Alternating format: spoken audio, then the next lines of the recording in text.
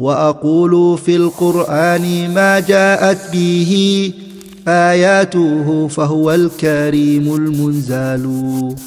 وأقول قال الله جل جلاله والمصطفى الهادي ولا أتأول. الحمد لله رب العالمين له الحمد الحسن والثناء الجميل وأشهد أن لا إله إلا الله وحده لا شريك له وأشهد أن سيدنا ونبينا محمد صلى الله عليه وعلى آله وأصحابه والتابعين لهم بإحسان إلى يوم الدين أما بعد. الله تعالى in this episode i want to speak about the third uh, introduction شاء الله تعالى. العلم والعدل والإنصاف. Any individual who wants to solve any Muslim problem, there are three qualities that he must adorn himself with. If you want to take the ummah out of their struggles and their pain, if you want to be a beacon of hope for the ummah, you must adorn yourself with three qualities al-ilmu wal-adlu wal-insaf. You have to be a person of knowledge, have understanding of the religion, Wal-adlu, you must be a just person. And the third one is al-insaf, fairness. Allah Azza wa Jalla, He created us with two qualities that are present in us as humans.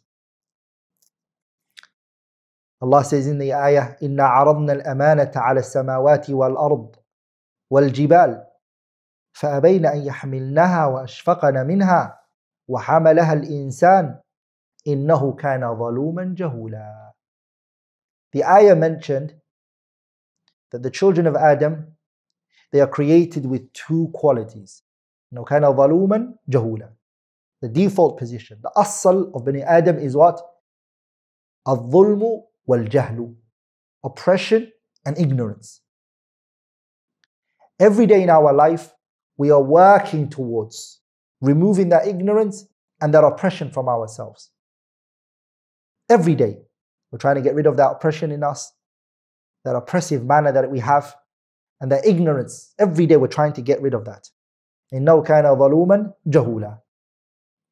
ولذلك Allah subhanahu wa ta'ala told us in the Quran that if a people remove those two qualities from themselves, they will reach the level of the level of what? The level of imamah. You will be an imam in the religion. That's what Allah said in the ayah. وجعلنا منهم أئمة يهدون بأمرنا لما صبروا وكانوا بآياتنا يوقنون Allah Azza wa Jalla, He said, وَجَعَلْنَا مِنْهُمْ أَئِمَّةً We made them imams. When did we make them imams? When they adorn themselves with two qualities that oppose the two qualities that are present in the human. There are two qualities that are in us, which is what? الظلم والجهل. These people, they became imams because they removed those two from each other. Or they removed those two evil traits. وجعلنا منهم أئمة يهدون بأمرنا لما صبروا وكانوا بآياتنا يوقنون. They removed ignorance from themselves until they reached yaqeen, certainty. Their knowledge, the bare minimum of knowledge is certainty.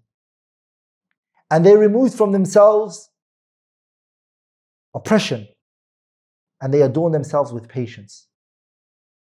And Allah subhanahu wa ta'ala made them imams. Shaykh al-Islam Taymi has a very powerful statement. He says, وَالْإِنسَانُ خُلِقَ ظَلُومًا جَهُولًا The humans are created, they are made oppressive and ignorant. فَالْأَصْلُ فِيهِ The default, the asal in us is what? عَدَمُ الْعِلْمِ No knowledge.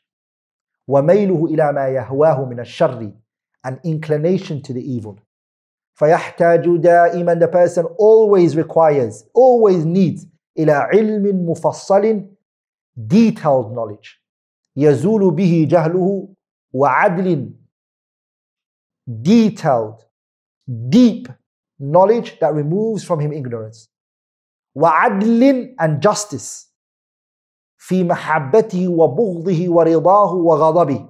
The justice, when is he going to use it? When is he going to use the adl? He's going to use it at times of happiness. So he doesn't become excessively happy. He balances his happiness. وبغضه, his anger. When he's angry, he needs adl, justice. So he doesn't go overboard in his anger. وَرِضَاهُ when he's pleased. وَغَضَبِ when he's angry. When he has enmity to someone.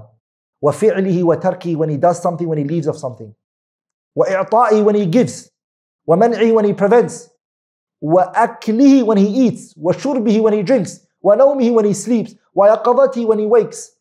or when he's awake فكل ما يقوله ويعمل يحتاج فيه إلى علم ينافي جهله وعدل ينافي في وعدل ينافي ظلمه all of that your love your enmity your, you being pleased you being angry you giving you taking you leaving off you preventing you eating you drinking you sleeping you waking up all of that requires knowledge that negates ignorance and you require justice adl, that negates oppression. فَإِن لَمْ يَمُنَّ اللَّهُ عَلَيْهِ بِالْعِلْمِ If Allah doesn't give you knowledge in all of that which we mentioned. المفصل والعدل المفصل If Allah doesn't give you in detailed knowledge and detailed justice, if Allah doesn't give that to you, كان فيه من الجهل والظلم You're going to have in you ignorance, oppression, ما يخرج به عن الصراط المستقيم That which will take you out of the straight path. Brothers, and sisters. We need in everything in our life, Ibn Taymiyyah said, whether we wake up, sleep, we talk to someone, every day we need knowledge and we require justice, adl. If those two are missing, what replaces is ignorance and oppression. When you're happy, you oppress others. You act in an ignorant way because you lack the two main qualities that you should have had. So every day we need to remove that from ourselves. Salafiyah, Ahlus Sunnah wal Jama'ah, this is one of the distinct qualities they have. They, are, they have knowledge of matters and they are just. They are just. They place everything in its right place. The fourth, in, fourth introduction that I want to speak about today, inshallah ta'ala, and it's the final introduction before we go to Sulbul Mawdu' when, before we go into the topic itself, is التحرير من الغلو في الدين to stay away from extremism in the religion. Extremism that I'm referring to here is not what you normally refer it to as. Many people think extremism only means when you overdo something. No. In Islam, extremism is two extreme in exaggeration and extreme in negligence. We stay away from both. They are both ghulu. They are both extremism. That's when when we recite Surah Al Fatiha. We say, Iyaka na'budu wa iyaka. We say, Oh Allah, you alone we worship. And oh Allah, you alone we seek help from.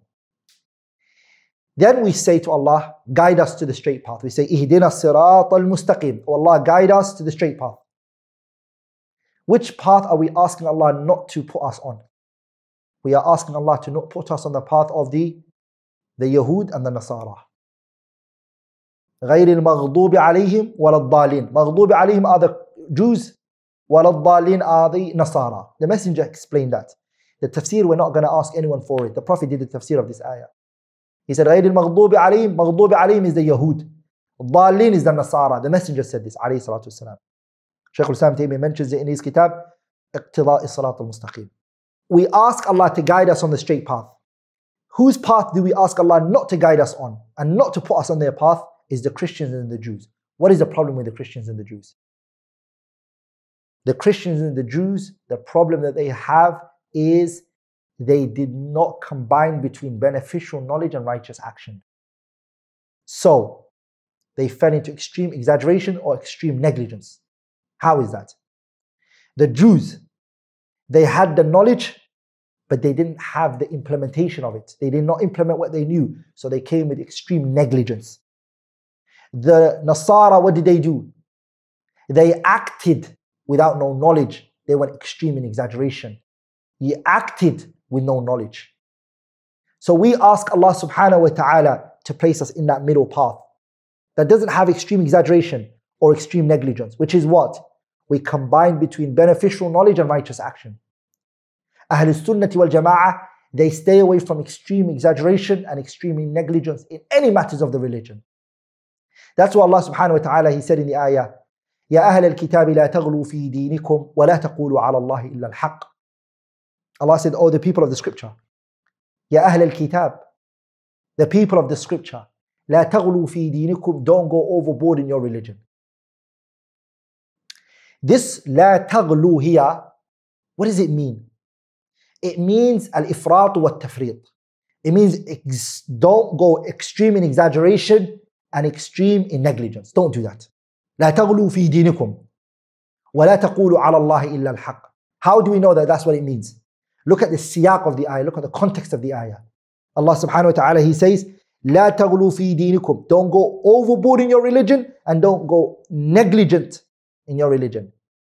ولا تقولوا على الله إلا الحق. Don't say about Allah except the truth. The truth is in between those two. Extreme exaggeration, extreme negligence. Look what Allah said. إنما المسيح عيسى بن مريم رسول الله وكلمة ألقاها إلى مريم وروح منه فآمنوا بالله ورسله ولا تقولوا على ولا تقولوا ثلاثة Allah subhanahu wa ta'ala what does he say? He says, do not say about Isa ibn Maryam. Now let's ponder here. Isa ibn Maryam, what did the Christians say about Isa ibn Maryam? They went overboard in exaggeration. They went extreme exaggeration. They said he's the son of God.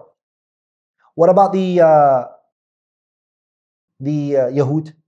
The Yahud went extreme negligence. The Yahud. The Yahud went extreme negligence in Isa ibn Maryam. Al-Imam al-Qurtubi and also Al-Imam Muhammad al-Amin al-Shanqitiyu, both of them chose يا أهل الكتاب لا تغلوا في دينكم it means إفراط and تفريط لذلك القرطبي ولذلك الشنقيطي in أضواء البيان he said فيكون الغلو المنهي عنه شاملا للتفريط والإفراط that the ghulu that's been prevented or prohibited in this ayah it means exa- extreme exaggeration and extreme negligence also the messenger sallallahu alaihi wasallam said in hadith ibn majah narrated إياكم والغلو في الدين فإنما أهلك من كان قبلكم الغلو في الدين stay away from extremism in your religion the nations that came before you were destroyed because of extremism in their religion the nations who came before us, they either fell into extreme exaggeration or extreme negligence. Allah subhanahu wa ta'ala combined between those two extreme in one ayah. فاستقم كما أمرت ومن تاب معك ولا تطغوا إنه بما تعملون بصير.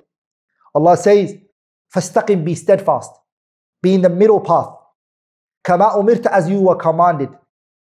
ومن تاب معك and the one who repents from what? Extreme negligence. He repents from his negligence. ولا تطغوا extreme exaggeration. إنه بما تعملون بصير. The two people who the ayah is prohibiting is what? A person who fell into extreme ne- negligence and a person who fell into extreme exaggeration. What is it that we're commanded? فَاسْتَقِمْ كَمَا أُمِرْتَ Be steadfast as you were commanded. Being in the middle path, brothers and sisters, is not determined on people's logic and their aql. I think, you know, the middle path is this. So anyone who's got a long beard is extreme to them. The woman who's wearing a niqab, extreme. No. The concept of what's the middle path is taken from the Quran and the Sunnah. فَاسْتَقِمْ كَمَا أُمِرْتَ Be steadfast the way we commanded you. The, the way you were commanded. You don't choose. ولذلك the Arab poet he said ولا تغلو في شيء من الأمر واقتصد كلا طرفي قصد الأمور ذميم Don't go overboard in matters and be in middle. Be واقتصد. Be in the middle. كلا طرفي قصد الأمور ذميم. Both extremism are blameworthy. Do not go extremism in your speech, whether it be extreme exaggeration or extreme negligence. Brothers and sisters, don't go extreme in your actions, whether it be extreme exaggeration or extreme negligence in your actions in the religion. Do not go extreme exaggeration or negligence in your belief. Those three. Shaykh al-Islam ibn Taymiyyah, he said, he said, أهل السنة بين الفرق كأهل الإسلام بين الملل. Ahl al-Sunnah are in the middle between all of the groups, like the Muslims are in the middle with all of the religions. The middle. No extreme exaggeration or extreme negligence. Ahl Sunnah are in the middle when you look at all of the groups. Like the Muslim, I mean, Islam is in the middle of all of the belief, all the other religions. Ahl Sunnah in the middle. Abu Bakr ibn Abi Shaybah, He narrated from Ali ibn Abi Talib بسنده عن Ali ibn Abi Talib with his chain to Ali ibn Abi Talib that Ali said خير الناس the best of people are هذا النمط الأوسط يلحق بهم التالي ويرجع إليهم الغالي Ali ibn Abi Talib he said the best of people are those who are in the middle the middle group are the best people how are they good and why are they good يلحق بهم التالي ويرجع إليهم الغالي the one who's falling short can come back to them and the one that's going overboard can come back to them the one who's falling short can go to forward to them. And the one who is falling, going overboard can return back to them. They're in the middle. So both parties can come to them. The Sunnah are in the middle. The person who's falling extreme in exaggeration can come back to them. And the one who is falling extreme in negligence, he can catch up with them. Ali ibn Abi Talib, that's what he means. خير الناس هذا النمط. The best of people is هذا النمط الأوسط the ones that are in the middle. يلحق بهم التالي ويرجع إليهم الغالي. They are in that middle path. The extreme negligent one and the one that's falling in extreme exaggeration can both come to the person in the middle. And Imam Ad-Darimi rahimahullah, he narrated from Hassan al-Basri rahimahullah ta'ala that he said, سنتكم والله الذي لا إله إلا هو بين الغالي والجافي. Hassan al-Basri said, your sunnah, wallahi, is in the middle of extreme exaggeration and extreme negligence. It's in the middle. The sunnah is in the middle of extreme exaggeration and extreme negligence. Al Imam al Awza'i said, Ma amar Allah ta'ala bi amrin. Allah never commanded a matter in the religion. Ponder here. Because the whole entire reason why I'm putting this series together is because of what I have seen. I have seen a people who have fallen into extreme negligence. And another group of people who have fallen into extreme exaggeration. And that middle part is always the one that's hardest. I'm going to conclude with this final point, but I want you to think of it, think over it, inshallah ta'ala. And Imam al-Awza'i, Imam al Sham, he said, "Ma amar Allah ta'ala bi amrin." Allah never commanded a matter illa wal shaytan fihi nazghatan. Except Shayṭān, he sets two paths from it. There is not a commandment in the religion, the Quran or the Sunnah. There is nothing Allah commands except that shaitan sets two paths from it. إما إلى تفريط وتقصير وإما إلى مجاوزة وغلو ولا يبالي بأيهما ظفر. Shaitan will set two paths from the commandments of Allah. Extreme exaggeration or extreme negligence. And he doesn't care whichever of those you fall into. Shamsuddin al-Sakhawi mentions it in his kitab Al-Maqasid al-Hasanah and Al-Khattabi mentions in his Kitab Al-Uzla. Ponder here, brothers and sisters. This is what we're suffering from today. We're suffering from extreme exaggeration or extreme negligence. A people who believe there's no bid'ah, every innovator is my brother and his sister, I love him and he loves me, let's all work together and let's hold hands. There's another extreme on the other side, which is what? Everybody's a mubtadi'ah. Every single person is a mubtadi unless he prays in our masjid, unless we know him, unless we've given him the pass. These are both extreme. Both of them are evil traits, blameworthy, both of them. Shaitan doesn't care whichever of those two he throws you into. ولا يبالي بأيهما ظفر. Shaitan doesn't care which of those two he throws you into. As long as you're not upon what? فَاسْتَقِمْ كَمَا أُمِرْتَ as long as you are not in that middle path, he doesn't care. He'll sniff you. If he feels that you're a very enthusiastic person, he'll throw you into extreme exaggeration. If he senses from you, you are very lackadaisical, you love to relax and take things easy, he'll throw you into extreme negligence. You bari bi aihima. And shaitan does not care which of those two he throws you into. As long as you're not in that middle path. And that's why my series or the series that I'm going to be doing, inshallah ta'ala, is to, inshallah ta'ala, prove that Salafiyya is that middle path. In these three issues that I'll be speaking about, that it's not ifrat or tafrit. And both parties, inshallah ta'ala, I'm going to condemn them. And I'm going to prove بدليل من الكتاب والسنة from the Quran and the Sunnah that we do not support neither of the two and that the middle path is what we want to meet Allah on the day of judgment Anything I might have said that was wrong or incorrect is from me, shaitan, and Allah and His Messenger are both free from it. سبحانك اللهم وبحمدك أشهد أن لا إله إلا الله استغفرك وأتوب إليك Assalamu alaikum wa rahmatullahi wa barakatuhu. How can you do a two second action right now that will give you a share of the reward of everything we're doing on this YouTube channel? Simple. Like this video and click subscribe. Why? It will allow YouTube to recommend our videos to other users. And imagine the huge amount of reward that could be waiting for you on the day of judgment if you did that with a sincere intention of spreading the deen of Allah. You'll be rewarded for every single person who benefits from one of our videos as a result of your like or subscribe. That's an easy two second action that you definitely don't want to miss out on. Do it now, click like and subscribe, and don't forget to make that intention.